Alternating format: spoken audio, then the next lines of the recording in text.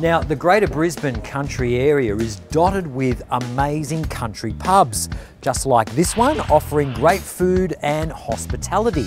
But what if you could visit these pubs by helicopter? Oh, yeah, it's a country pub crawl by chopper. Does life get any better? Climb aboard with pterodactyl helicopters for the ride of your life and a bird's eye view of Ipswich, the magnificent scenic rim, and Lockyer Valley. The helicopter for us is just a tool, um, and we provide experiences and we use that tool in order to do that. And because of the range that we have and the speed that we travel, we can do a lot of things in one day that you couldn't do by car.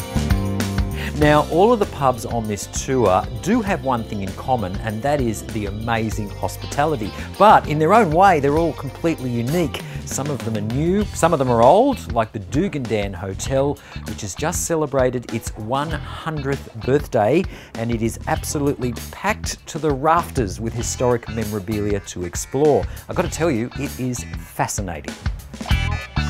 Each of the pubs we visit is a chance to learn more about the local area and to share a beer with some of the locals. That's one of the highlights of this tour. Back on board, and we take to the skies for our next stop.